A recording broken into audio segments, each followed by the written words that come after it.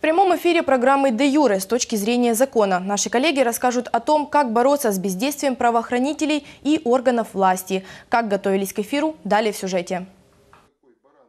Сергей Бурсов – врач-реабилитолог. Переехал в Альнянск год назад из аннексированного Крыма. С собой привез личные сбережения, которые снял с депозита Крымского банка. Вместе с гражданской женой остановились у ее детей, дочки и зятя. Деньги врач хранил дома, который охраняется собакой. Однажды обнаружил, большая часть суммы, более 18 тысяч долларов, исчезла. При этом упаковка, в которой хранились банкноты, не была повреждена. Все пачки купюр были тщательно завернуты в файлы и заклеены скотчем. Только стали гораздо тоньше. Мужчина уверен, деньги похитили свои, ведь у неработающего зятя вдруг появился дорогой мобильный телефон, да и вообще завелись финансы, говорит Сергей Бурсов. По-хорошему решить вопрос не удалось. Написал заявление в милицию. За несколько месяцев движений по делу так и не было, уверен потерпевший. Обратился в прокуратуру.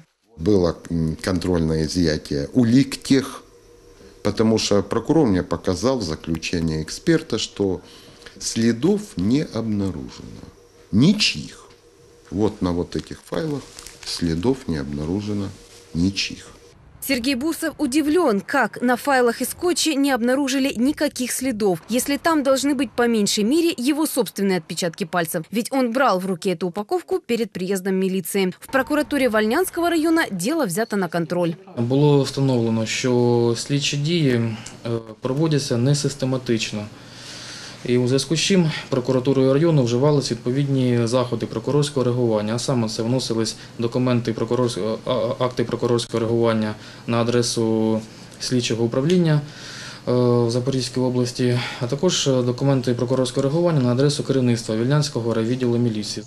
С момента хищения уже прошло полгода. С тех пор дело не сдвинулось с мертвой точки. Как заставить милицию работать? На этот и другие вопросы по теме бездействия правоохранителей и органов власти вы узнаете ответ в прямом эфире социального проекта «Де Юре» с точки зрения закона. Станьте участником программы после выпуска новостей в 20.00. Звоните по телефонам прямого эфира 213 91 48 и 213 01 09. Задавайте свои вопросы, получите бесплатную консультацию. Повтор программы 7 мая в 12.00 и 10 мая в 8.15.